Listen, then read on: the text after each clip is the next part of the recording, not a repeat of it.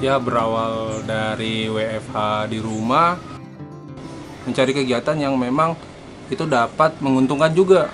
Menguntungkan buat di dapur buat buat orang-orang juga yang ingin mengikutinya. Sehingga kepikiran bikin yang namanya budik damber budidaya ikan dalam ember.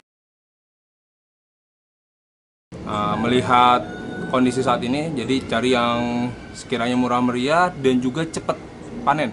Di- di mana lele itu kan dia makannya semangat ya jadi pe- proses tumbuhnya dia juga lebih cepat. Dan kangkung kenapa? Karena biji kangkung tuh gampang dicarinya. Perawatannya tuh mudah. Pertama kangkungnya nggak usah disiram. Kenapa kangkungnya nggak usah disiram? Karena udah ada air di dalam embernya. 3 sampai 4 minggu udah bisa kita panen. Kalau dipanen potong atasnya aja itu ntar dia bisa keluar lagi kok.